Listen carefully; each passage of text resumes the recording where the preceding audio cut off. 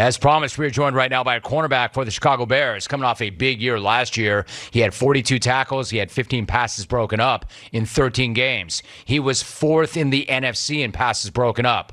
First Bears rookie to start week one at corner since 1996. He was an All American, he was a two time All Pac 12 player at Utah. He was the 50th pick overall in 2020. He is the pride of Fresno. They open up their season at the Rams September 12th. I'm talking about Jaylon Johnson. Jaylon, good to have you back. How are you?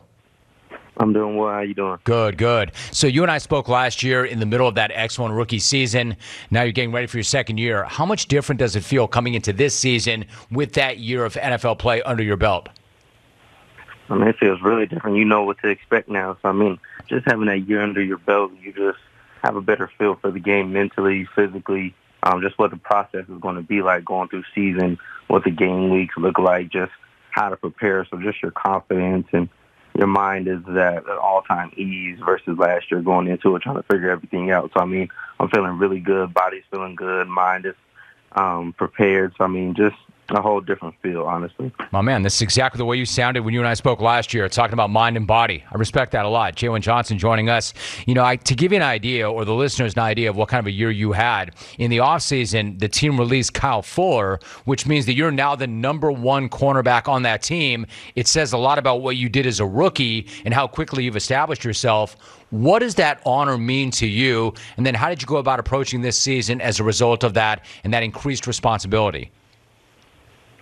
I mean, honestly, I don't know how I honestly felt about Kyle leaving. I feel like it was some things that went on. I don't think it was as clear cut as okay, we want Jaylon to be number one. But I mean, I feel like it just ended up being put on to me once some things couldn't happen a certain way, and and they ended up making making that decision to let him go. So I mean, it's just about stepping into that responsibility. Um, but I mean, definitely he was a big time player for the Bears for many years and somebody that I looked up to um, and somebody I felt confident um, to be able to play alongside of. So I mean, now it's time to just being able to take everything that he taught me just from professionalism, just from being able to prepare the right way, take care of your body, just a lot of those things that he had taught me now is just going to be more enhanced and more important than ever being that I now have to be that number one guy as he was. So I mean, I mean, for me, it's just about being able to go out there and play and be consistent as he was.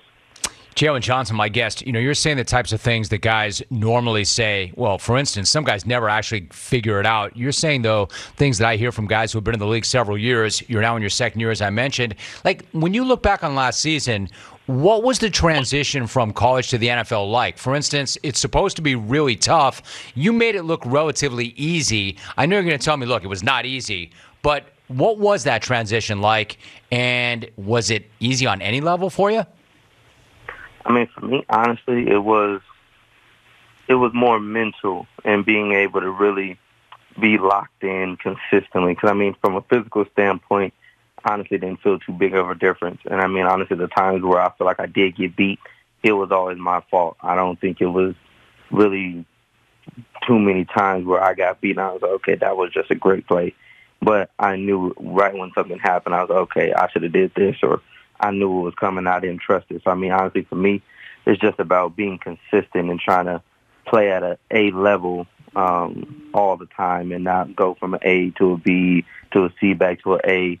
It was just always about being consistently at a high level. So I mean, for me, it's just being able to get to a mental point to where you're really consistent in your technique, really consistent in your reads, um, and being able to know what the offense is doing and things like that. Just being more consistent and fine tuned in everything that I'm doing. Jaylon Johnson joining us. So again, we're talking mindset. Like one of the things you and I talked about when you came on last year was your mental approach and how you work at that. You were talking about how one of your favorite books was by Tim Grover. Grover's got a new book out, which is amazing. I like it even better than the book that you and I talked about, his new book. But what about mindset? Like, how would you describe your mindset when it comes to being great? What is the thing that drives you and motivates you? I mean, shit, I got a lot of factors. I mean, honestly, just I've just always wanted to be the best every time I played, every time I stepped on the field. That was just something that I wanted to do, just have my respect and just be able to win. Um, but I mean, now I got a lot of different factors from my daughter, my family, just being able to change the dynamics of the city of Fresno, like you were mentioning earlier in my introduction, just being able to change the culture of things, being able to change young kids' lives. So I mean, I know there's a lot of things that I could um, that I can change with this game of football, and hopefully get into this second contract. It'll be life changing for not just me and my family, but other kids and other people um, that I can reach as well. So I mean, it's just just about being able to help out my loved ones and help out my city as best I can. I want to remind you all that Jaylon Johnson is in his second year in the NFL. You know, this whole thing about I got to get to that second contract and I want to be able to change lives and I want to help out my family. You know, of course, your city as well. But this is interesting. You told the Bears official website last season, quote, all my checks have been going to a distant account. I haven't touched any of my NFL money, end of quote. I love that approach. So, where did that philosophy come from? And have you allowed yourself to touch any of that NFL money now that you made it to the offseason? Um, that approach just came from the aspect of not being greedy. I mean, I didn't need too much. I mean, for me, I've never had the money to go out and just buy all the fancy clothes and things like that. So, I mean, when I got to NFL, that just wasn't something I was focused on. I rather had prepared for the NFL, prepared instead of going out and spending money on clothes. I was just focused more on playing ball and let the pregame outfits come later on. So, I mean, I'd rather have looked good during the game than before the game. So I mean, I didn't really care too much about spending too much money. So I mean, I just kind of lived off as much marketing money as I was able to make during season, and then I actually did end up having to use um, just because my marketing numbers weren't as what I thought they were going to be. So I mean, I just of course had to make some decisions to keep being able to live. Um, but I mean, some things have changed on that side. So I mean, definitely having more opportunities and being able to stretch that back, stretch the marketing money back out. So I mean, um, it's just about what's best for the situation at that time. And during season, I didn't have to use that money. So I mean, now I'm just getting back to hopefully not having to touch that money. Oh man, I love that notion. Also, that I'm trying to look good during the game and not before the game, and of course, the rest will take care of itself. I did mention Fresno at the very top, and I love the fact that you rep Fresno. I love Central Cali, Fresno, Bakersfield, those parts of the state. What's it mean to you to be from Fresno? In fact, Jaylon, for those who don't know, what was it like to grow up in Fresno? And then I'm really curious, what's it like now to live and work in Chicago?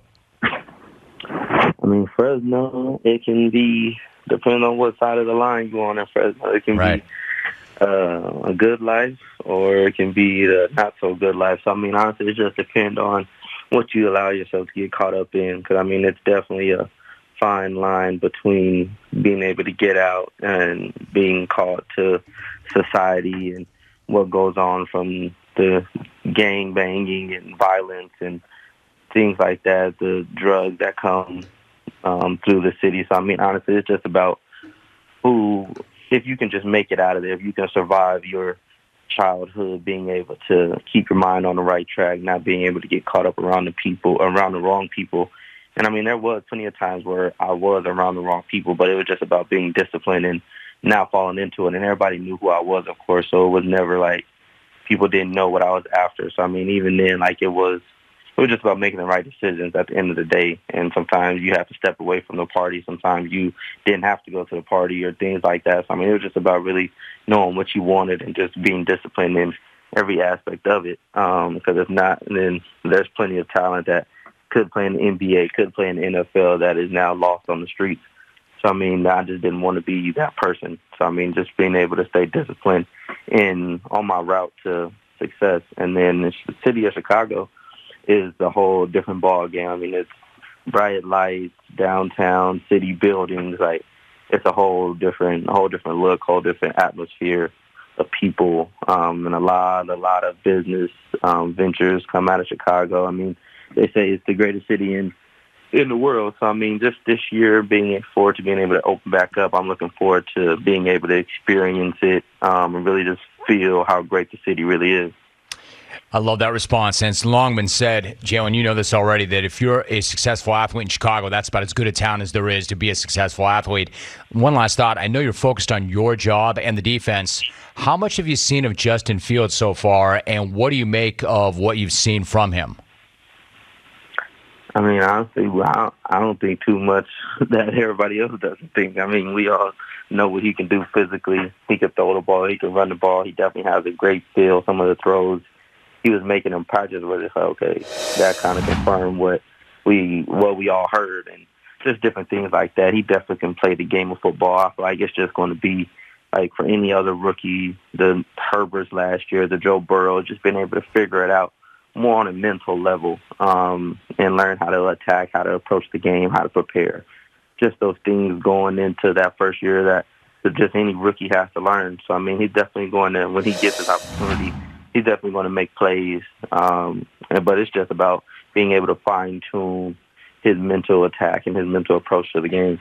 Jaylon Johnson, my guest, my man, I'll say it right to you. I've got great respect for you. I admire you. I appreciate we have a relationship, and I like having you on this show. I appreciate that very much, Jaylon. Great to have yes, you. Sir, thank you. You have a great day, man. Thank you very much.